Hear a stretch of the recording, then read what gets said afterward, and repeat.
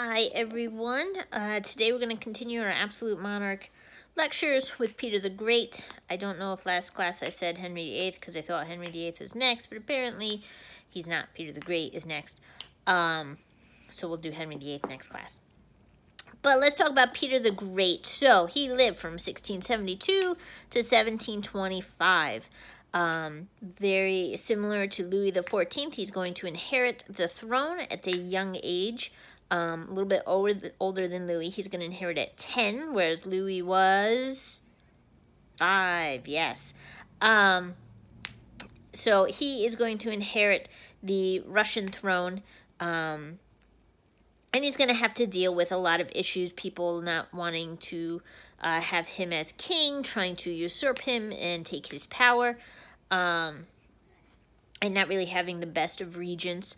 Uh, he'll survive several assassination attempts uh, until he takes full control at age 17, and right there is where you're going to see that big difference between Peter the Great and Louis XIV. Um, one is there to have fun, and the other is there to rule uh, and make his country uh, the best it can be.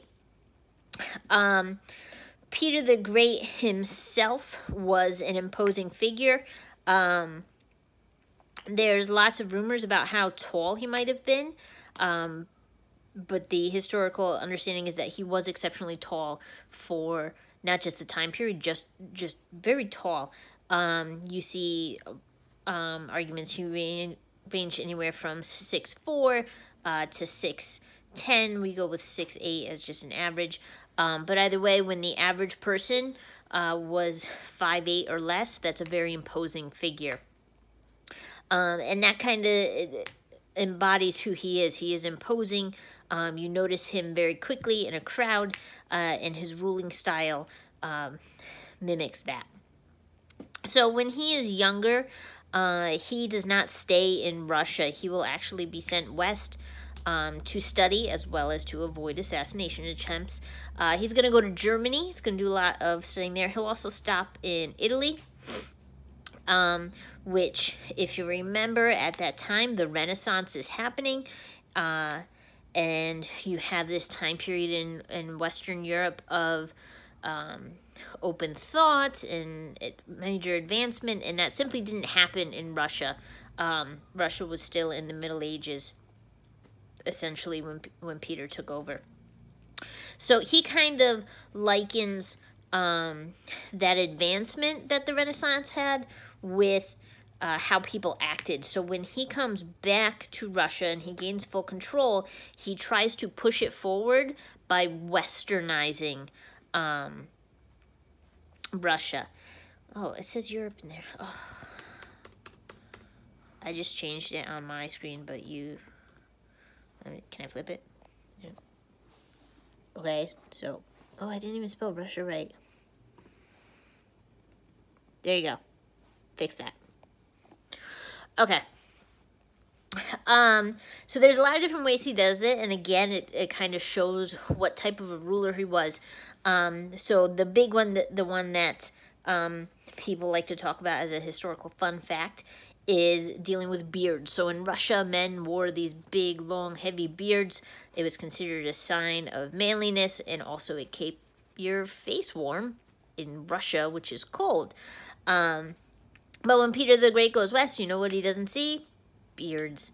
He'll see mustaches, he'll see goatees, but he marks that um, that full beard really seemed to be um, like a commoner type of thing where you couldn't afford to shave. Uh, so he says that all Russian men have to cut off their beards. And them being Russian, they they say, no, we're not doing that. I mean, I've had a beard my entire life, and my father had a beard, and his father before him, and his father before them, and his mother before him. Did you get it? Um, but uh, Peter is is not going to take that uh, well. So uh, he basically calls nobles to the uh, the castle, and he says, "I told you to shave your beard. Um, you can shave it, or I'm going to shave it for you." And there's actually um, documents of him shaving the nobles. Um, uh, basically grabbing them by the face and taking out a straight razor and cutting out chunks of their faces, um, as well as ripping out the beards. Uh, he was a little unstable. But really, you only have to. I mean, well, we say it's unstable because it's very violent, but if you're looking at it from an absolute modern perspective, you really only have to do that once or twice before everyone's like, okay, uh, we'll shave our beards. Um, you do see him working with uh, the nobles, however, when his advisors bring forth another plan and they say, what if we let them keep their beards, but they have to pay a tax? Um, and Peter was fine with that. He said, "Yeah, as long if they're going to pay a tax, because what he really wanted to do was advance his country. So if it meant he was going to get more money, he was willing to um, let that be. Uh, and and that's really where you start to see some of a difference again between um, Peter and Louis the Fourteenth, because uh, Peter the Great." Um, everything he does will be horrible in some aspect, but he does it for the benefit of his country. Um, there's actually a term for it, uh, enlightened despot. Um, so this is an authoritarian ruler who does everything they do to make their country better. It's not about how they feel or what they want for themselves. It's what they think is best for their country. They can still be horrible people and do horrible things, but the purpose is there uh, to make the country better, not just for themselves. Um, so some other crazy things he does to Western Russia. Uh, he is going to get women involved in the royal court. So back then in Russia, men and women were not allowed to interact in public together, particularly nobles. So it was literally like um, a man and a woman. So a husband and a wife would go to the royal court. They would um, go to the doors and the husband would drop the his wife off in the women's uh, parlor or where all the women were, and then he would go to the men's side and he would have his whatever discussions they were, and then he would pick her up at the end of the night and they would go home. But they couldn't talk to each other and they didn't talk to people of other genders. So, him forcing women to be involved in the court uh, is actually very interesting because it meant that women had to be listened to within the court. Um, but it also meant for those high class women, they saw it as an affront to their nobility because um, men talking to women in public is something a commoner would do. Um, and they had been raised their entire life and very well instructed on how they're supposed to act when they are outside of their home. And then all of a sudden, the king is telling them they have to act differently. Okay. Uh, so you can imagine that these type of things will make the nobles unhappy. Um, and that's when we see um, the full measure of Peter the Great's power. Uh, you, he'll have a couple of rebellions happening, including one where a thousand nobles, okay, a thousand nobles will join together to attack Peter the Great to storm his castle because they were going to overthrow him and they did not succeed. Uh, Peter the Great had his army slaughter all of them, and then he refused to allow their family members to pick up their bodies. Instead, he had all of the corpses impaled outside of his castle so that if you were to approach his castle, you would see the remains of all those who had stood before him and failed. Um, you see this uh, mimicked a lot in television shows. And people say, wow, that's crazy. No, that's Peter the Great. Okay. Um, so, uh, very ruthless. Uh, and he really understood what it meant to have a show uh, and how they do. Which, again, is another interesting comparison between Louis XIV, where Louis XIV does his show by having nobles um, basically uh, help him get dressed in the morning, uh, whereas Peter the Great shows his strength, and it's all about showing his strength um, through the heads of his enemies. Um, so other ways that he uh, tried to push his country forward, once he had that full hold of his country and everyone was afraid to rebel, he pushed uh, forward several efforts. Um, he expanded Russia's borders uh, to include massive territory he really wanted to expand south to get a warm water port. They had control over the Arctic ports, but not down by the Black Sea. Um, and he knew if he could get a warm water port uh, where ships can sail in and out at all times of the year, not just when um, the ice hasn't frozen everything, that would massively improve their trade.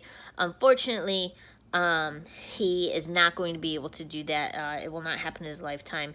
His um, later descendants will get it done. Catherine the Great will get that warm water port. Um, but that doesn't mean he doesn't have uh, land expansion that isn't very famous. He will build St. Petersburg. Um, and you could say it's named after him, but it's named after St. Peter.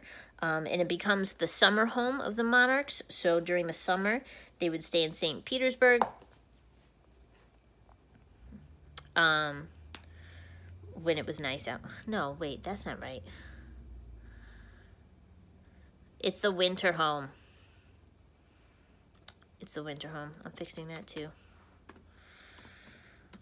I'm a little overwhelmed this week. I don't know about you guys. Okay. So it's the winter home of the monarchs. Um, much better weather to stay in, and then the rest of the the summer they would spend in Moscow. At least I think that's right. Um, either way, it's a very pretty city. Um, there we go. Where's my pictures? Yeah, I'll show you again.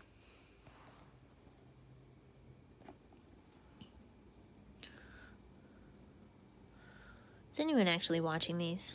I hope so. This takes a lot of time. Okay. Okay.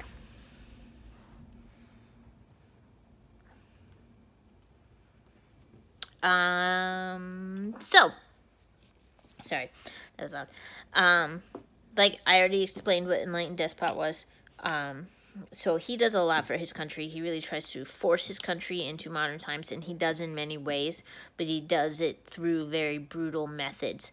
Um, he was um, rash and unbearable. I think he actually beat one of his sons to death. Or he beat him very badly and then he died. Yeah, he did. He did. One of his sons. Alexander? Alexei? Some, but he had others.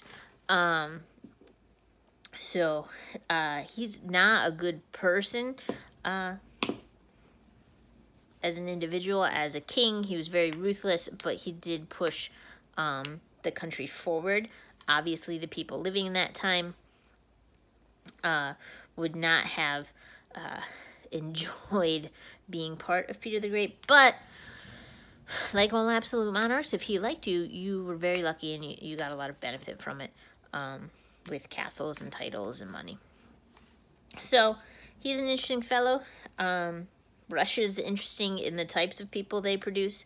Um, like I said, Peter the Great, Catherine the Great, Ivan the Terrible. Interesting monarchs um, who all stand out in their own ways. So feel free to look stuff up if you like learning about this stuff. All right, so that's it for today. Your assignment is super easy. Please just do it. All I want you to do is uh, basically list different things that Peter the Great did that would make him uh, considered an absolute monarch. And yes, you can do a bulleted list. Um, so it's called Peter the Great nomination. I give you a little setup as to what is the purpose of writing it, but you're, you're basically reviewing what Peter the Great did.